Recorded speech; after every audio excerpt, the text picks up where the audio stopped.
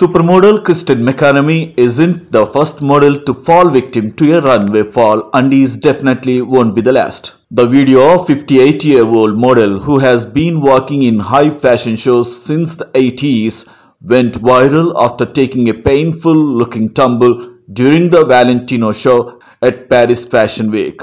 Dressed in a sheer sparkling gown with an ankle-length pencil skirt and hot pink opera gloves, the model could be seen wobbling in her black pointed toe heels before succumbing to gravity and hitting the runway knees first. Though members of the audience rushed to help, McMenamy had it covered taking off offending heels and going barefoot the rest of the way. In multiple videos of the moment, the model can be seen walking with the heels in hand before throwing them off each side of the runway. Supermodel Kristen McMenamy tripped and fell on the Valentino runway at the Paris Fashion Week and proceeded to sit on the stage and take her heels off before walking off. The video shows a supermodel struggling to walk in sky-high heels on the runway, she soon falls down and ditches the heels. The supermodel visibly annoyed taking off her heels.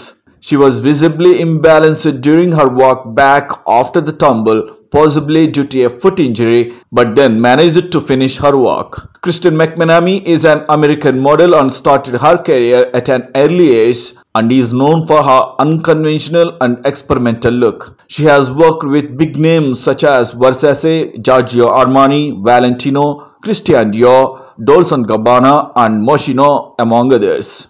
Valentino's unworkable shoes also made headlines last year. The model stripped off or fell while showcasing summer 2023 collection.